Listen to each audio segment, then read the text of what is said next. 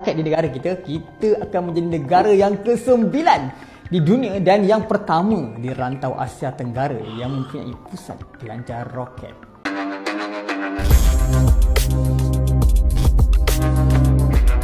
Assalamualaikum warahmatullahi wabarakatuh. Rek, jumpa lagi bersama saya Iki. Gimana kabar-kabar saudara-saudara, sahabat-sahabat saya? Semoga kabar kalian selalu baik-baik saja Dilindungi oleh Allah subhanahu wa ta'ala Dijauhkan dari segala bala musibah Dan diberi umur panjang. Amin ya robbal alamin. Oke Rek, seperti biasanya di video kali ini Iki akan ngereksan sebuah video yang telah di tag di tagnya Mas Iki Dan di video kali ini Iki akan ngereksan ya Rek ya.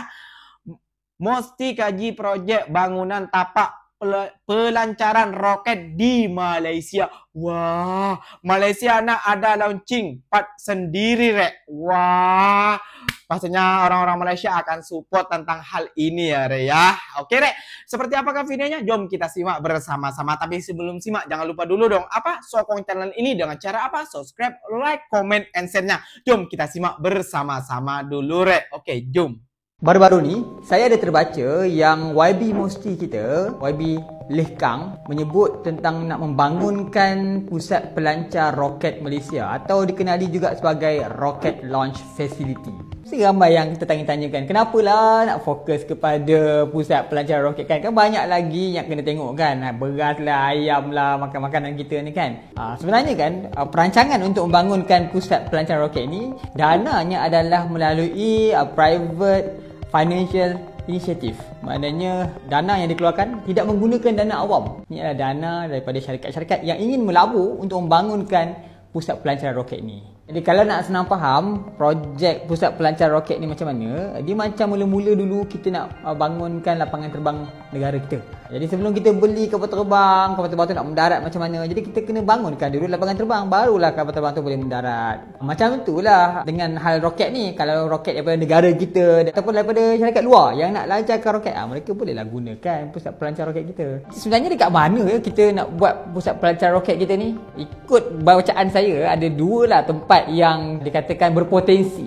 Pertamanya ada di kawasan belah Borneo di Sabah, kemudian satu buah lagi di Pahang. Apapun semuanya berpandukan nanti kepada keputusan penilaian oleh syarikat dan juga kerajaan yang menentukan di manakah lokasi yang paling sesuai untuk negara kita membangunkan pusat pelancaran roket. Yang pertamanya, kita kena tengok kedudukan negara kita yang strategik berada dekat dengan garisan khatulistiwa. Apabila Malaysia berada dekat dengan garisan khatulistiwa, ia menyebabkan kos untuk menghantar roket ke angkasa menjadi lebih murah daripada kawasan yang jauh daripada khatulistiwa. Terutamanya adalah kerana kos menggunakan bahan api untuk pelancaran roket daripada khatulistiwa kita akan memanfaatkan momentum daripada putaran bumi yang akan melonjakkan roket ke angkasa dengan lebih pantas dan mudah. Sebab itu kalau kita tengok macam contoh negara-negara Eropah, NASA, mereka cuba ingin menghantar roket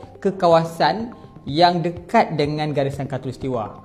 Kita nak buat pusat pelancar roket negara kita terutamanya adalah untuk untuk membangunkan industri angkasa negara.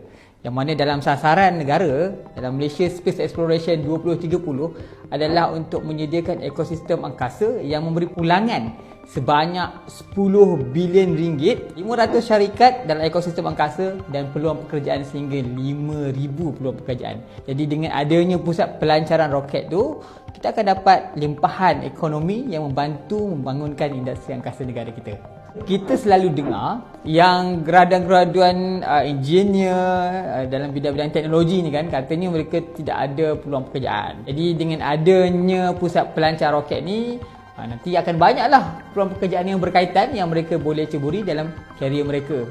Dengan adanya pusat pelancaran roket di negara kita, kita akan menjadi negara yang ke-9 di dunia dan yang pertama di rantau Asia Tenggara yang mempunyai pusat pelancar roket kita pun dah tahu kan uh, SpaceX dan juga Blue Origin uh, mempunyai roket yang boleh terbang dan juga mendarat semula. Uh, jadi kalau mereka nak mendarat dekat Asia Tenggara, uh, dekat mana lagi mereka nak mendarat? Kita dah ada fasiliti kita. Mereka boleh mendarat dekat tempat kita.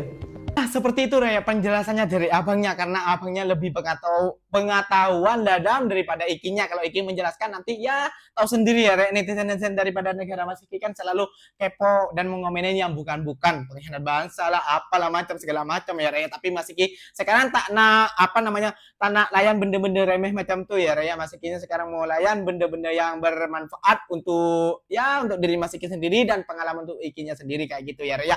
Jadi uh, buat orang Sabah dan orang mana tadi? Pahang ya, Re. Kalau nggak salah minta maaf kalau salah Pahang ya, Re. Wah, akan diadakan di situ ya, Re. Ya. Apa namanya? Apa namanya? Peluncuran roket akan di situ ya, dan juga membantu ekonomi negara. Wah, bagus sekali nih ya, Re. Ya. Coba di Indonesia ada dan ada Pak nomor ah, yang kesembilan negara akan meluncurkan roket ya, Re. Ya. Nah, kata Mas Iki, ada isu-isu juga di, di Indonesia juga ada, tapi sampai sekarang belum ada-ada ya, Rek ya. Mungkin belum karena akosnya yang terlalu mahal mungkin ya, Rek ya. Dan apa namanya kalau sampai ini terjadi, Rek, wow, luar biasa. Luar biasa sekali ya, Rek. Kenapa? Karena di As di Asia apa? Di Asia Tenggara ya, Rek. Malaysia saja, Rek. Ya, tahu sendiri cuma kata abangnya tadi sembilan negara yang cuma bisa menem, uh, yang yang yang menerbangkan roket itu ya, Rek ya Masya Allah. Oke deh, buat orang-orang orang-orang Malaysia, ah ini harus disupport ya. Re. Pastinya saya tidak meragukan dengan orang-orang Malaysia karena orang-orang Malaysia ini akan mensupport hal-hal yang baik ya. Re. Ya.